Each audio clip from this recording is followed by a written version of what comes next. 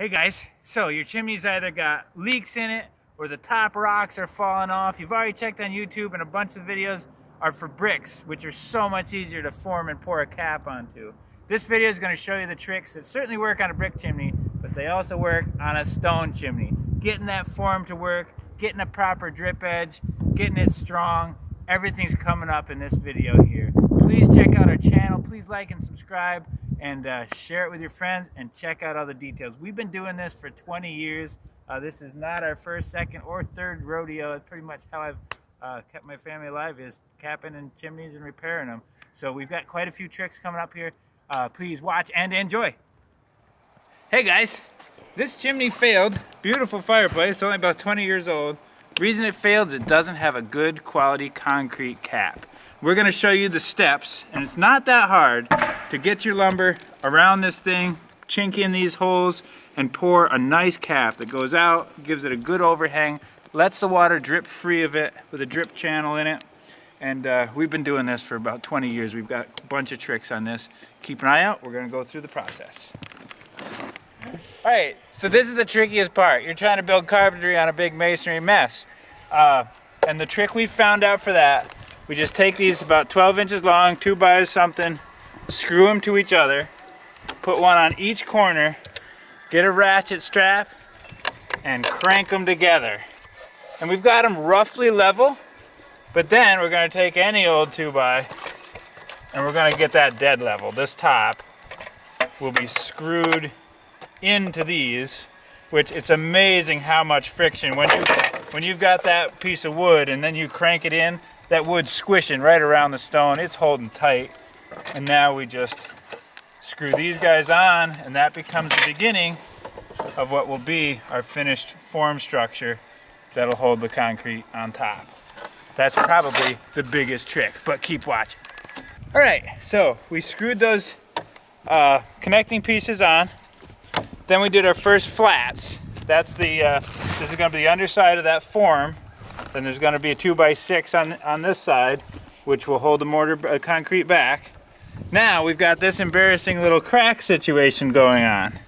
And the best way to handle that is fiberglass. It has an amazing capacity to kind of let the, the water uh, kind of binds up in it and mortar doesn't really or the concrete doesn't really break through. So we stuff all that crazy stuff fairly tightly, pack it if necessary, with fiberglass, and then you'll see in the next step, we're actually, after we've uh, put our quarter round on, we're actually gonna put a mortar uh, bed over top of that. Then we leave it overnight till at least the next day to pour the main pour of concrete on top. But that is our trick fiberglass in the wild joints. So this is the drip channel. In, in the real world, water can flow uphill, strangely enough.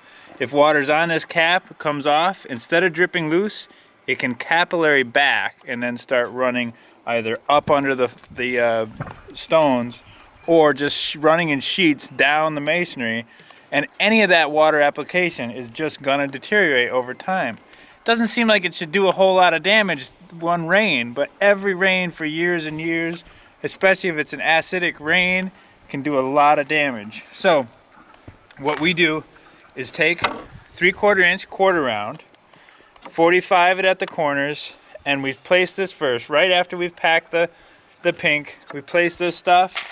We've been finding pretty good luck with these GRK kind of a thin shank wide head uh, cabinet screw. I did mention the cabinet screw thing rather than a finish nail because you can have a disaster of a time if you use a finish nail on this and then after you're all done you pop the form out the form drops and the finish nail head pops through and these pieces are stuck on the underside of your concrete and you'll be forever trying to pull them out because when they get wet the wood actually expands uh, so use a screw a thin screw with a fat head to hold that on and then we're uh, gonna do our sidewalls. So that next trick is, uh, is running these verticals around. You notice they're a little bit long each time. That's mostly just because I don't wanna be doing some perfect cabinet work Usually the chimney itself isn't a perfect square. You try to eyeball as square as you can, but if you try to be perfect up here, you're gonna have trouble. But you just have to measure, get your rough measurement what the length is and add three or four inches and then you can button pass. Just go long, butt into it, pass, go long, butt into it, go past. Then you can still get a nice, square, clean edge on the inside, and it's just a whole lot easier. I want to mention, when you're screwing these things in, remember you got to take this thing apart. you got to take this thing apart, and there's going to be concrete in here. So the last thing you want to do is put a screw in here that you can never pull out, and that screw has bound one side to the other. I'm saying this because I've done that before, and it's a giant debacle, and it doesn't sawzall well, whatever. So we want to keep all our screws on that, like underneath where these two buys are, we've got screws. Underneath here, up in, we've got screws. Those are places we can get to. We of course did have to screw these uh, corner beads and one trick, if you want to ever take those screws out, get a little bit of a Vaseline or a white grease and put a dab of grease or peanut butter. I've done that when I didn't have anything else.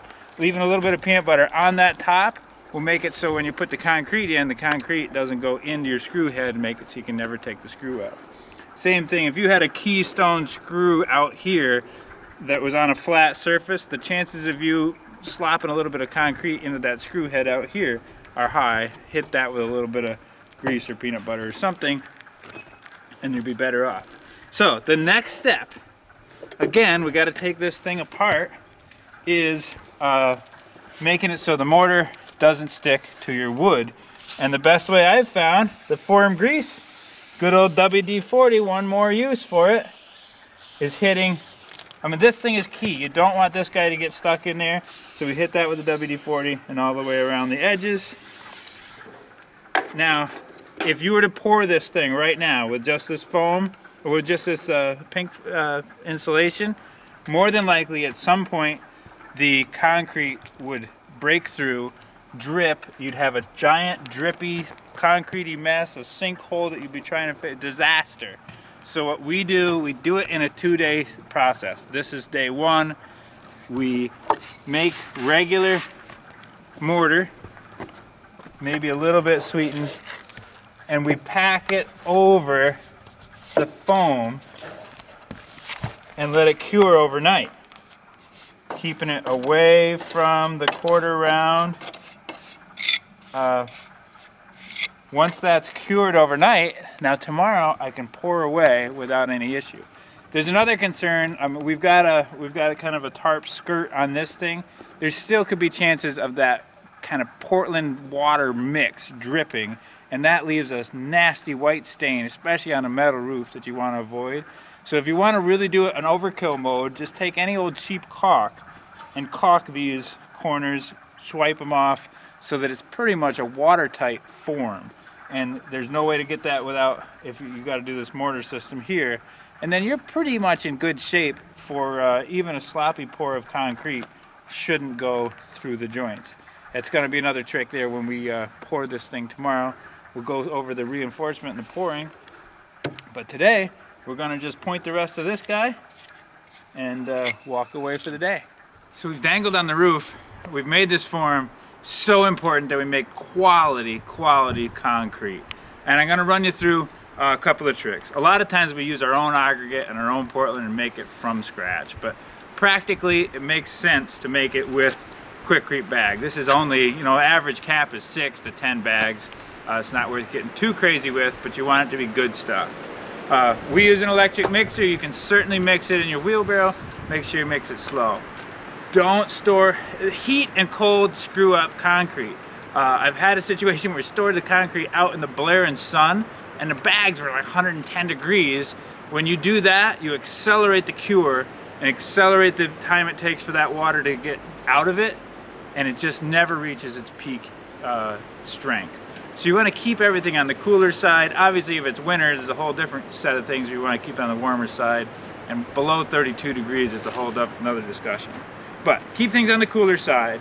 So we would do uh, probably two two bags of Quikrete to a to a batch in the in the uh, mixer. I'm not gonna run the mixer because you don't want to hear that grinding any more than I do. Now, here's the secret. I'm sure that the fine people at Quikrete figured out optimal amount of Portland to gravel and sand to make sure that they made a profit. Since we're not really worried about uh, metric tons here of profit, we can afford an extra $12 for actual Portland concrete. That's what this Portland cement, Portland cement is the ingredient, the binder that binds the sand and gravel. I mean, here's some gravel and sand, almost like what is in there, but it's the Portland cement that when it is perfectly uh, encased around each granule, binds the granules together and makes a good concrete. I'm sure Quikrete has that right near the minimum because this costs more than gravel. So we are gonna enrichen it with, for, for every bag of, of Quikrete, maybe a half a scoop or so of Portland. You can take that too far. Don't go crazy and uh, and over Portland it because you, you think you can make it the best ever. Uh, but add about, you know, basically a scoop or so to a bag uh, and mix that up very well. That's part of the key, if you, especially if you're mixing the wheelbarrow. Just because it's wet doesn't mean it's done. You want to tumble all that material so that you've got all the Portland encased and you don't want to go too wet. If you get it too wet, it's just never going to reach the same uh, strength as it can if it's on the drier side. However, if you keep it too dry, it never compacts right, you get other issues. So there's a fine line there, and some of that you can only get with the feel. But you just look at the consistency we go through. You'll see we uh, we're going to run a, a, wetter batch for the first one, which goes around the bottom. Then we're going to increase the slump uh, to a drier batch as we go up toward the top. But that's our tricks. Use nice, clean, cold water to mix with. Use less water as you go and get it up to the right uh, amount as you go along and then throw it in a bucket and somehow safely haul it up on your chimney. That's where you'll see it next. All right, so we've waited a day. The mortar that we covered all those crazy gaps with is now closed. We use Durawall. That's a material that's used uh, on cement blocks because that's a reinforcement. Concrete on its own isn't that strong. It's the metrics between concrete and steel that binds things together even if there's a crack, if there's steel, the crack can't pull apart. The disadvantage of using like heavy, normal half inch rebar here is this is a thin pour and you really, for rebar to be optimal, you should have four inches of concrete above it and below it. Uh, so you need to use a lighter material.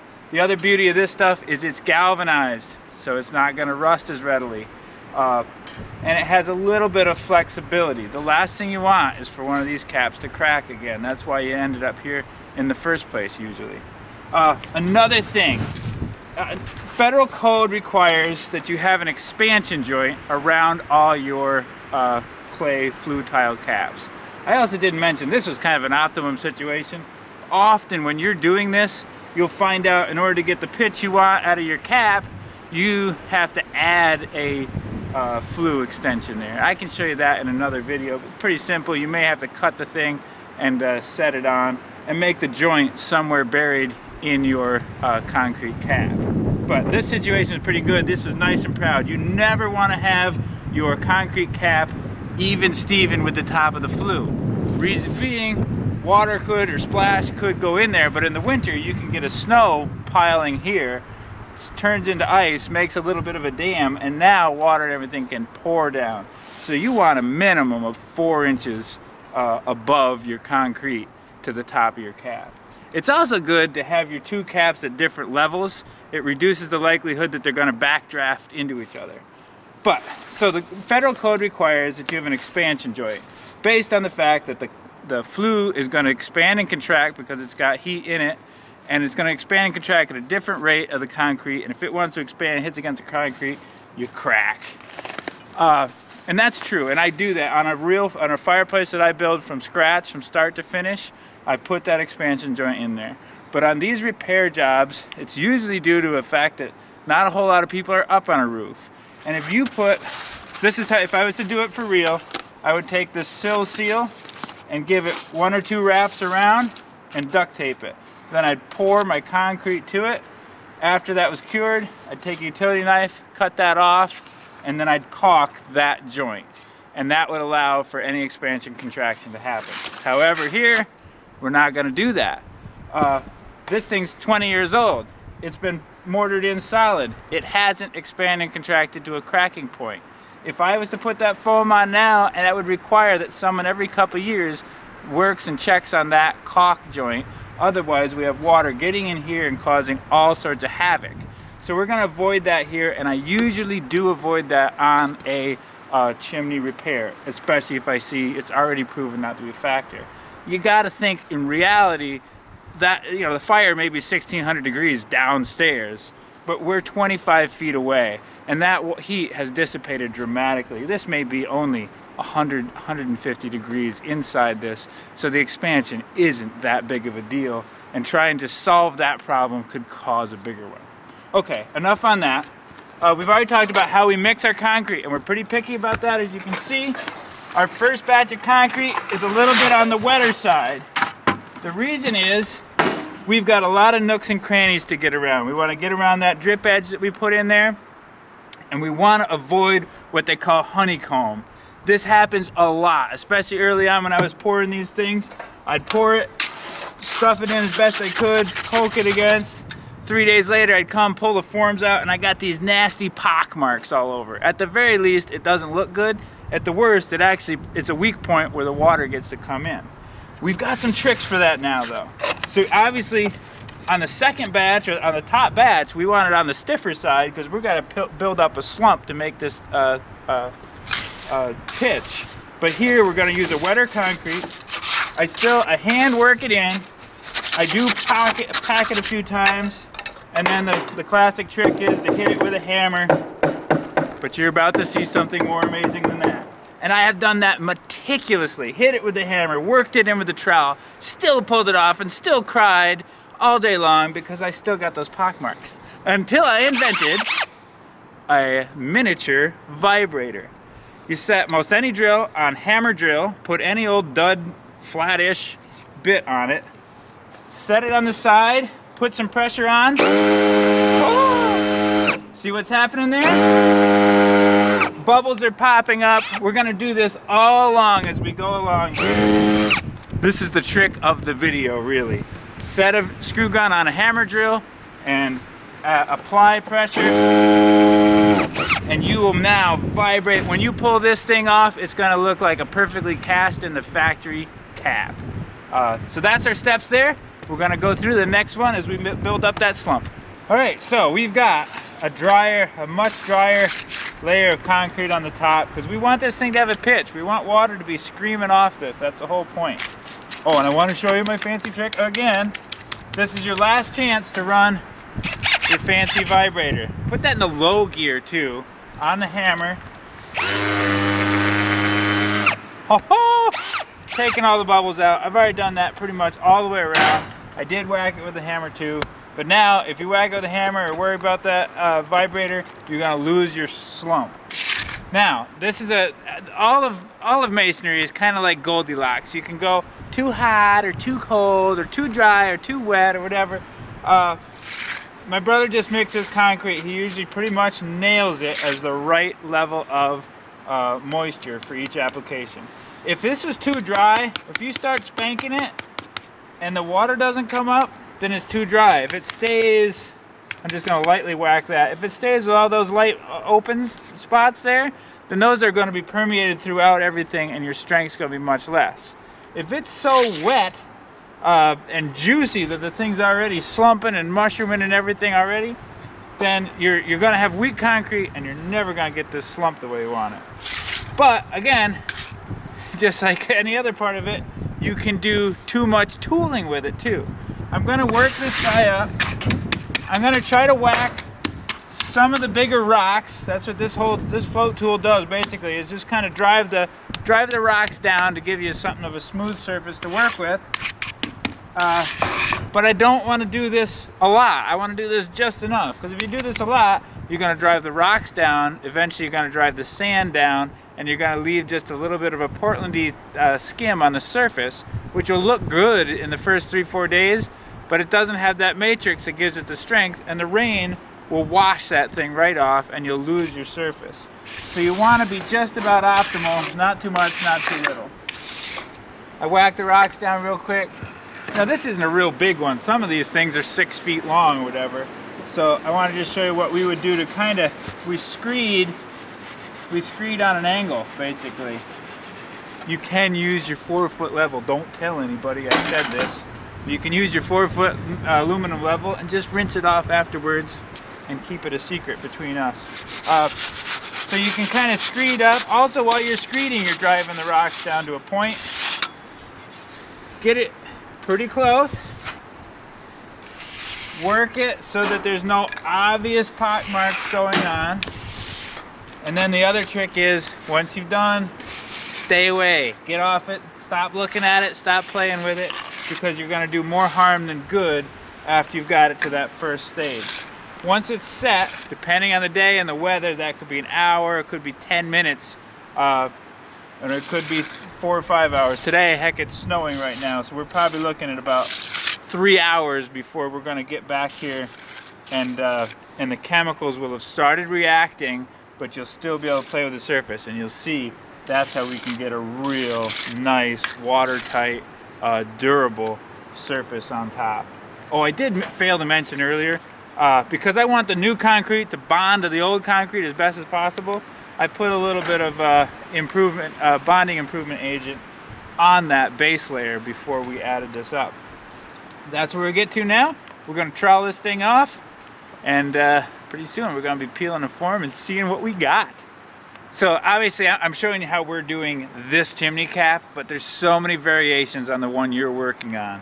Uh, this one here, we use 2 by 6s on the side. You don't always have to do that. Often I use 2 by 4s but in order to get over those nice humps with a deep uh, uh, concrete, I switch it up to 2 by 6 Sometimes I'll do a longer shelf at the bottom before I come up.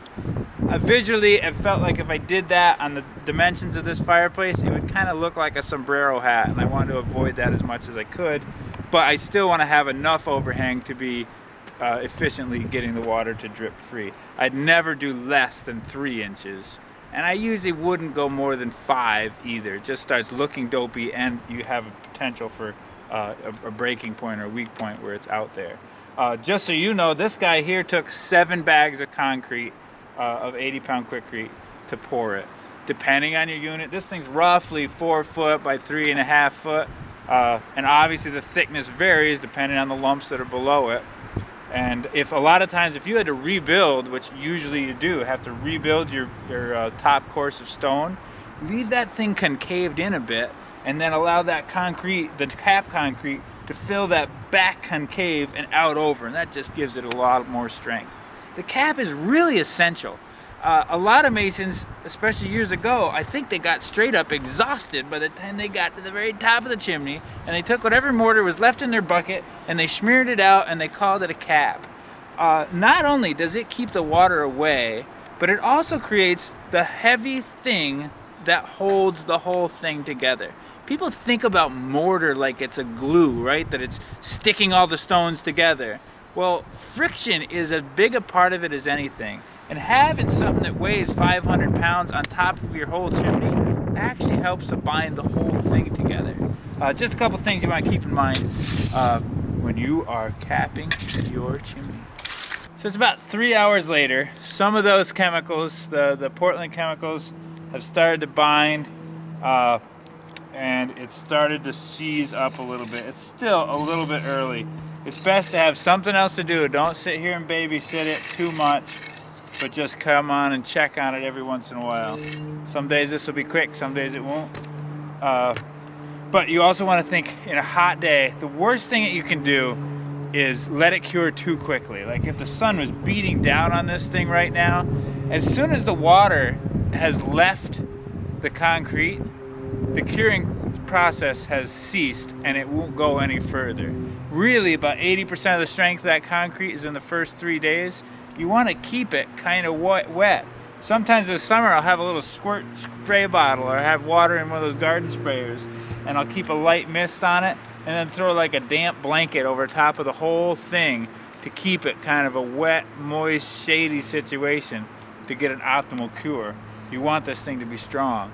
The other thing, as tempting as it might be, tomorrow to rip this form off and see the beautiful uh, cap you've made, way better to wait three days. That's when you're gonna have your optimal 80% strength because uh, the last thing you want to do is be going too early while the concrete's still green and be popping a little corner off and then all of a sudden you have a crack in the unit that just didn't need to be there. So a little bit of patience there uh, and some troweling time. I, I, I know it looks weird, I'm using this little tiny trowel to trowel this off, but I have found these little uh, brick trowels, I call them, or, or, pointing trowels, can make an incredible surface uh, because you can apply enough pressure on there to really uh, push that cream up to the surface and, uh, and smooth it off. So we're gonna trowel this thing off, then we're gonna leave it to heck be, and then check on it in three days.